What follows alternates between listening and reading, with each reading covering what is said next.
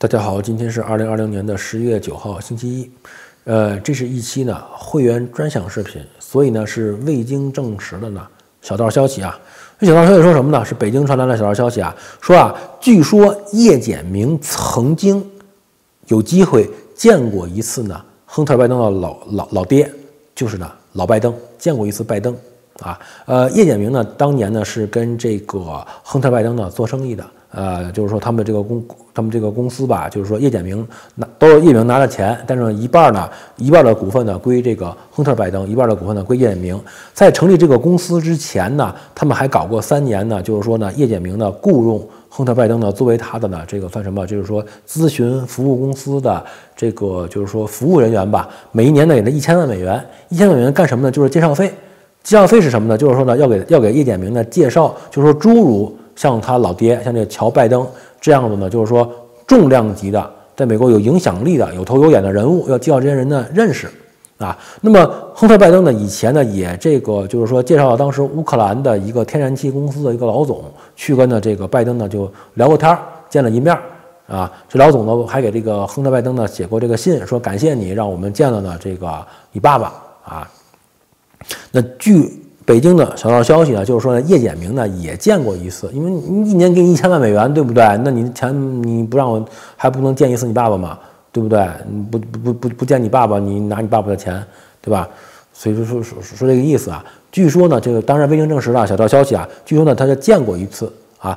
那么叶简明呢，这个同志呢，这个跟郭文贵呢有点像。就什么意思呢？郭文贵这个同志是这样子，他比如说在北京，他打了打了个出租车，跟出租车司机呢聊了几句天儿。郭文贵同志呢拿个录音笔呢把他把他把他录下来。哎，郭文贵他他他们他们这种呢就属于呢这个情报部门的外围，他有这个呢他有这个他有这个瘾，他养成了这个习惯，就是他跟谁说话，他都把它录下来。那你看这郭文贵到最后就是什么跟刘延平、跟什么傅建华、跟什么吴征，他跟他妈谁说话？他都录一段他都有录音，他都能他都能拿出来啊。所以呢，叶简明同志呢，在知道自己呢有机会见这个拜登的时候呢，留了一手，他有录音啊。但是当然了呢，就是说也无所谓嘛，你也不能说这个就是这个不能算是违法犯罪行为，你懂不懂？那我们见面吃个饭，那那吃饭怎么着？吃饭还犯罪？你还抓我坐牢啊？对不对？我们说了，我们说什么？我们说今天天气不错啊，哎，这牛排挺好吃的，这还挺嫩的，哎，你要不要加点盐？对不对？那你这是违法犯罪吗？这肯定不是违法犯罪。你录下来又怎么样？我跟你说什么了？拜拜登，那我副总统跟一些企业家吃饭，他要来中国投资，我鼓励他要好好干，为美国创造财富，对不对？那你录下来又怎么样？你也说明不了什么，对不对？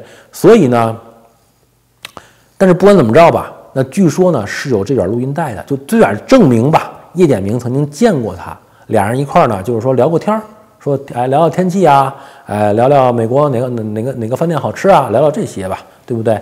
所以呢也不能证明什么，但是呢是存在这么一卷呢录音带的，证明拜登见过叶简明。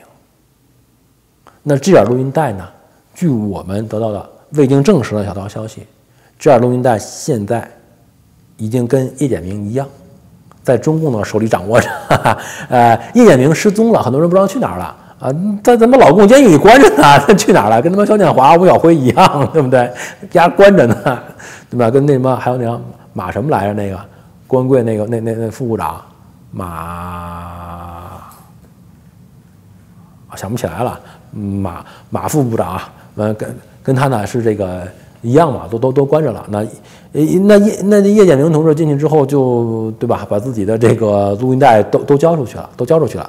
那叶简明手里呢，当然了，跟亨特拜登录音带就比较多啊，跟亨特因为他们的生意往来吧，有很多的这个呃录音带，你就跟小柜子一样，小柜子那那那小柜子，据说这个小柜子家里啊都是那个录那个。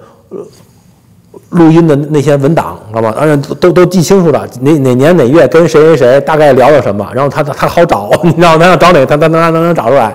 叶简明呢也有，他们这个呢都这样。他说哪年哪哪年哪哪年哪年哪月跟谁谁谁，他在这个叶叶简明啊，在这个捷克发展的时候呢，见捷克总统嘛，他有有有录音带。哎，叶简明也是个啊很很聪明，很聪明的一个人，非常的聪明，也玩的挺大的，当年玩的很大嘛。所以呢，叶简明手里呢有好多卷录音带，跟捷克总统的录音带，跟亨特拜登录音带，跟这个拜登这个录音带。当然了，咱们还要还要说一下啊，就是说有录音带，你也不能证明人家这个就是做违法犯罪了。就那那我妈打个出租车，我跟出租车司机说，走，带我去这个王府井。然后呢，王府井办完事儿上来说，走，带我去纽约。说成啊，从王府井开纽约去啊，啊，那也不算违法犯罪啊，对不对？这们就就就就就聊呗，对不对？所以呢，不能够证明呢，这个拜登呢有违法犯罪行为，这点一定一定一定要要说清楚了。这录像带呢，并没有什么这个啊这个不可告人的东西，但是呢。反正你要是把习近平惹毛了，给你放出来听听，嘿，听听你拜登到底爱吃哪个牛排，爱吃几分熟的，是不是？